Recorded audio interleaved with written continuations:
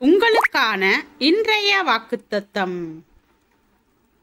மகிழ்ச்சியாய் இருப்பதும் உயிரோடு இருக்கையில் நன்மை செய்வதுமே அல்லாமல் வேறொரு நன்மையும் மனுஷனுக்கு இல்லை என்று அறிந்தேன். அன்றியும் மனுஷர் யாவரும் புசித்து குடித்து தங்கள் சகல பிரயாசத்தின் பலனையும் அனுபவிப்பது தேவனுடைய அனுகிரகம். தேவன் செய்வது எதுவோ அது என்றைக்கும் நிலைக்கும் என்று அறிவேன். அதனோடே ஒன்றும் கூட்டவும் கூடாது. அதிலிருந்து ஒன்றும் குறைக்கவும் கூடாது. மனுஷர் தமது சமூகத்தில் பயந்திருக்கும்படி தேவன் இப்படி செய்து வருகிறார். பிரசங்கி மூன்றாவது அதிகாரம் பனிரெண்டு பதிமூன்று பதினான்கு வசனங்கள்.